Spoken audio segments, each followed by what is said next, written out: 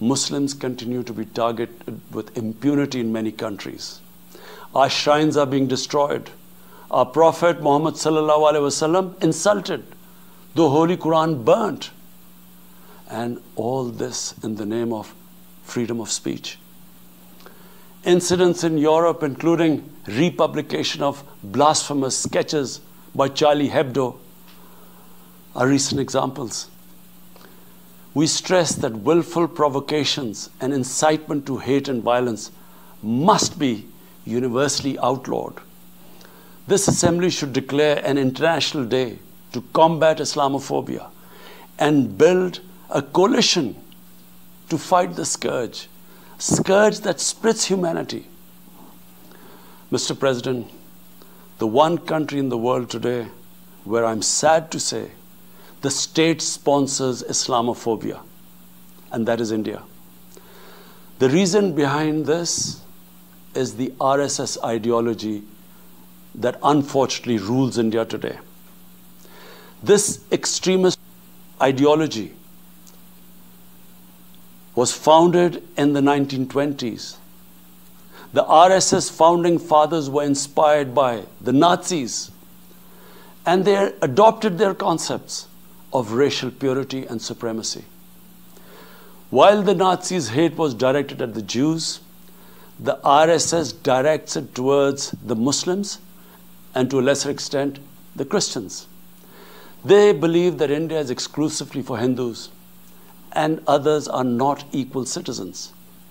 The secularism of Gandhi and Nehru has been replaced by the dream of creating a Hindu Rashtra by subjugating even cleansing India's 200 million Muslims and other minorities.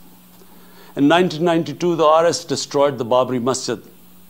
In 2002, some 2,000 Muslims were slaughtered in Gujarat, and this was under the watch of Chief Minister Modi.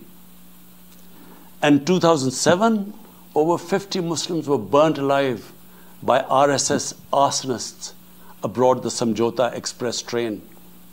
In Assam, around 2 million Muslims face the prospects of being arbitrarily stripped of their nationality through the adoption of discriminatory laws.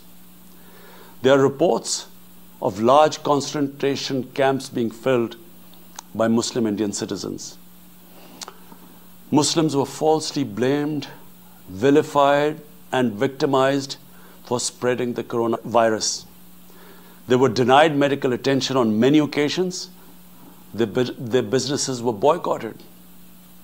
Cow vigilantes attack and kill Muslims with impunity. Last February, Muslims faced targeted killings with police complicity in New Delhi. Mass registrations in the past have often been a precursor to genocide. For example, the Nuremberg laws in Germany in 1935, and then in 1982 in Myanmar. The Hindutva ideology is set to marginalize almost 300 million human beings Muslims, Christians, and Sikhs. This is unprecedented in history, and this does not augur well for the future of India. As we all know, that marginalization of human beings leads to their radicalization. Mr. President, for over 72 years, India has illegally occupied Jammu and Kashmir against the wishes of the Kashmiri people and in blatant violation of the resolutions of the Security Council and indeed its own commitments to the people of Kashmir. On 5th August last year, India illegally and unilaterally sought to change the status of the occupied territories and deployed additional troops, bringing the total number to 900,000 to impose a military siege on 8 million Kashmiris. All Kashmiri political leaders were incarcerated. About 13,000 Kashmiri youth were abducted and thousands tortured. A complete curfew was imposed accompanied by a total communications blackout. Indian occupation forces have used brute force, including pellet guns, against peaceful protesters, imposed collective punishments, including the destruction of entire neighborhoods, and extrajudicially murdered hundreds of innocent young Kashmiris in fake encounters, refusing even to hand over their bodies for burial. The Kashmiri media and those daring to raise their voice are being systematically harassed and intimidated through the use of draconian laws. All of this is well documented in the reports of the United Nations High Commissioner for Human Rights, communications from the Special Rapporteurs of Human Rights Council, statements from human rights and civil society organizations.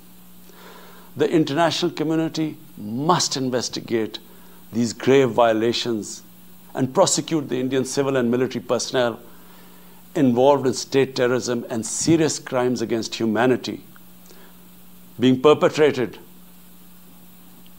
I'm sad to say, with complete impunity. The objective of this brutal campaign is to impose what the RSS BJP regime has itself called the final solution for Jammu and Kashmir. To this end, the military siege is being followed by moves to change the, the demographic structure of the occupied territory. This is an attempt to obliterate the distinct Kashmiri identity in order to effect the outcome of a plebiscite envisaged in the UN Security Council resolutions. This action is in violation of the UN Charter, Council resolutions, and international law, particularly the Fourth Geneva Convention changing demographic structure of occupied territory is a war crime. Mr. President, the brave Kashmiri people will never submit to Indian occupation and oppression. Their struggle is indigenous. They are fighting for a just cause, and generation after generation have laid down their lives to rid themselves of Indian occupation. The government and people of Pakistan are committed to standing by and supporting their Kashmiri brothers and sisters in the legitimate struggle for self-determination. Mr. President, in order to divert attention from its illegal actions and atrocities in Indian-occupied Jammu and Kashmir, India is playing a dangerous game of upping the military ante against Pakistan in a nuclearized environment. Despite constant Indian provocations and ceasefire violations along the line of control and the working boundary, targeting innocent civilians, Pakistan has exercised maximum restraint. We have consistently sensitized the world community about a false flag operation and another ill-conceived misadventure by India. My parents, Mr. President, were born in the colonial India. And I was the first generation that grew up in an independent Pakistan.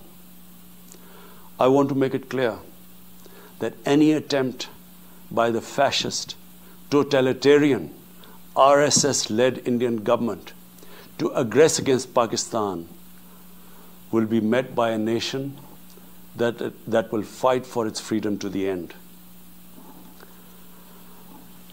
Mr. President, there will be no durable peace and stability in South Asia until the Jammu and Kashmir dispute is resolved on the basis of international legitimacy.